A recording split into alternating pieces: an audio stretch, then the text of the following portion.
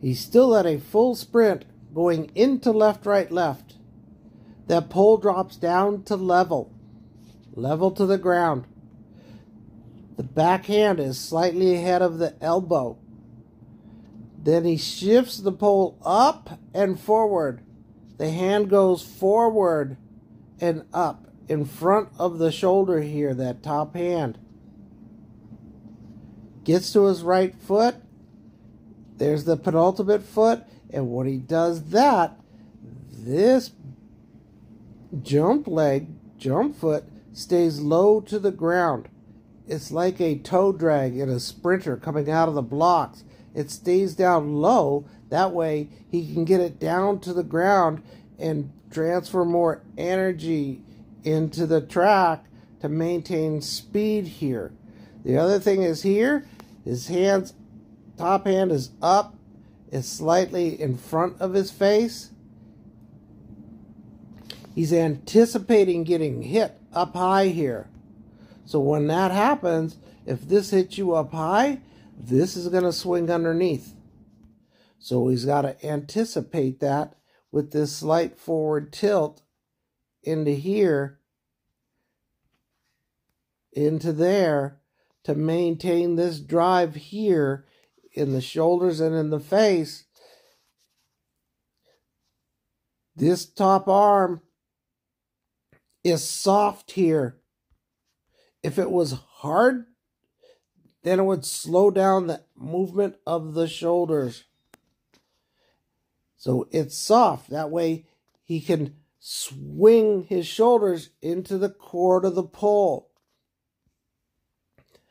The pressure on the bottom arm, his elbow is bent. The pressure on that bottom arm is not to push the shoulders back out of the chord, but to maintain the connection of the shoulders in the chord of the pole that also transfers energy.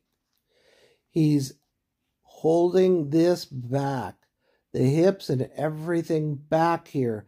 That also transfers energy into the pole.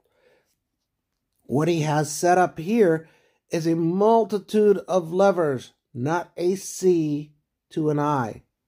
It's not just two things like that. It's the shoulder swing in.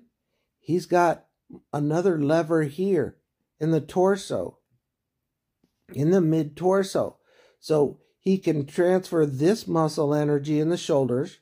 Then he's going to transfer this muscle energy in the mid torso, and then the lower torso, then the hips, and then the quads.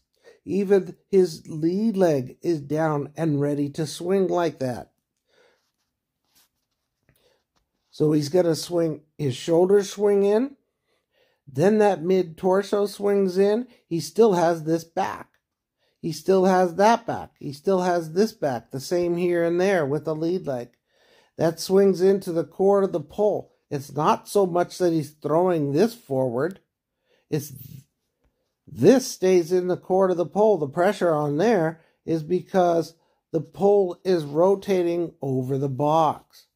So the pressure on that top hand is to maintain the shoulders down the chord of the pole to transfer as much energy as possible in this takeoff to the pole.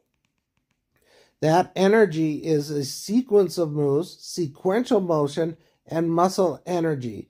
By creating more levers in the sequence, the shoulders, the torso, the hips, the thigh, the knee, and the foot swinging down, the more levers, the more energy, muscle energy in all these different groups can add up to transfer energy as thrust down the chord of the pole to transfer energy into the pole, to load the pole, to move everything forward.